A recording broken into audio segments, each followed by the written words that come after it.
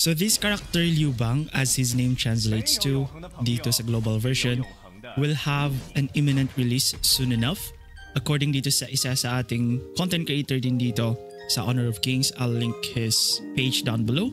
So basically, this character is a tank support utility and papakita natin yung mga skills niya para pagdating dito sa global release, um, you will have the understanding na paano siya dito gamitin. So let's get into it. So let's start dito sa kanyang passive. Ang kanyang passive, we have 4 stacks dito sa ilalim and after ilang seconds dito, pwede siya dito mag-special basic attack. Enhanced basic attack, kumbaga. And then let's go dito sa kanyang first skill. First skill niya dito is basically just a shield dito guys and then after uh, a couple of moments ito pwede mo siya i-trigger ulit and then it will provide a burst damage dito na magic sa surrounding areas. As you can see, there you go. Ayan. And but you can also um, just let it be. Magde-detonate lang siya dito ng sarili niya. So additional shield yun guys. And boom. Okay. So that is yung kanyang first skill. Pagdating naman sa second skill guys, this is a dash. Papalapit sa kalaban. As you can see. Very easy lang to understand. Okay. You can also combo dito yung kanyang first skill tsaka second skill pati, pati yung kanyang passive. So, puntahan mong ganun. Bang, bang, bang. Okay. So, additional dito na instances of damages. Sobrang dami ditong ilabas. Di ko lang dito mapapakita pa kayong kanyang ult. So, let's go dito sa practice guys. And I kid you not when I say na this character has his entire kit dito revolves around sa kanyang ult. Okay. Kailan nila ng tulong gar?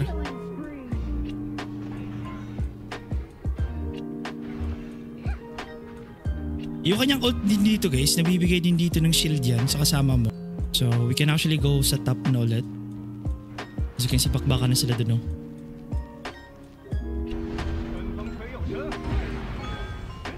See? How easy it is dito to um, go in and then supportan mo yung kasama mo. See?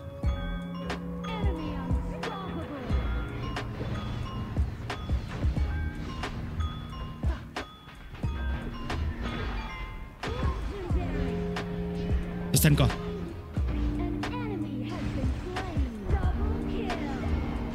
You see how good this character is? Pagkatapos ito ng bakbakan sa taas, punta kagad siya dito sa baba. So I'm very excited dito na i-release ito dito sa global version. Quick side note lang pala guys, I'm not sure if they have already changed this. Dati kasi itong character nito, there are certain characters dito in the game na they have their own item specifically made for them. However, I think due to balancing reasons, tinanggal na nila. So siya, I believe si Diao Chan din meron din. So dati pa yun guys na version. So I'm not sure if they'll also add that dito sa global version. Probably not. But it was fun dito na gamitin tong karakter na to may sariling item in-game na mag-enhance dito ng kanyang mga skills pa to the fullest. So yes, um, do note guys, yung ipapakita natin dito, this is just this basic dito na presentation. Basically, there are some nuances din dito pagdating sa kanyang mga skills. Like yung kanyang second skill dito pag natamaan, may small dito na stun, may mini stun. And then if ever pag tumagal dito ang channeling sa kanyang ult, there are also some um, changes din dito pagdating sa interaction pagdating sa kanyang ult. Pag naka-fully charge yung ult niya, may masastan yung kalaban. Pag hindi naman, naarektahan dito yung pagpasok mo. So, tapos may additional shield. So, di ko dito masyadong matatranslate sa global kasi hindi natin sure kung yun din mismo ang kanyang kit dito na overall pagka-release niya dito sa global. So, keep that in mind guys. But with that being said, thank you so much for watching. This is Nerdy Mahavan. Stay safe and stay nerdy. Peace.